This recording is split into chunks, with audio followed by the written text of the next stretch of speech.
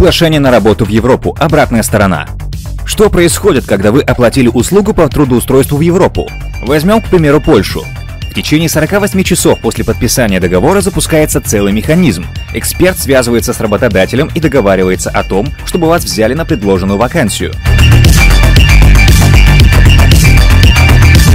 Процесс трудоустройства для граждан Средней Азии и Украины сильно отличается. Не в пользу первых, и эксперту нужно сильно попотеть в поисках лояльного работодателя. Если вы из Средней Азии, не расстраивайтесь, для вас есть большой плюс. Визу в Польшу для работы вам дают на год. Важно! Если кто-то обещает вам приглашение на работу в Польшу быстрее официальных сроков рассмотрения заявления, вероятнее всего приглашение окажется фальшивкой. Такое часто встречается на рынке труда и нужно быть начеку. Для оформления оригинального приглашения польский работодатель должен предоставить в воеводство, администрация города, заполненное заявление в установленной форме, документ, подтверждающий личность, документы, подтверждающие источник доходов или наличие собственных средств, документы, подтверждающие право собственности на жилье или способность обеспечить жильем иностранца, бронь, квитанцию об оплате гербового сбора. Обычно весь процесс получения оригинала приглашения, например, из Польши в Казахстан или в Кыргызстан, занимает 2-3 месяца. Всего в Польше 16 воеводств. Кто-то делает свою работу быстро, кто-то чуть медленнее. Особенно сейчас, в ковид, но ситуация меняется и все возвращается к прежним порядкам.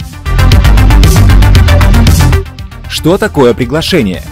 Приглашение на работу – это обязательное условие для легального проживания и трудоустройства. Оригинал потребуется вам для рабочей визы, которую поставят ваш паспорт в консульстве Польши в вашей стране. Документ бывает разных видов. Наши эксперты и работодатели используют тип А, где иностранец трудоустраивается на основании трудового договора в компанию, которая находится на территории Польши.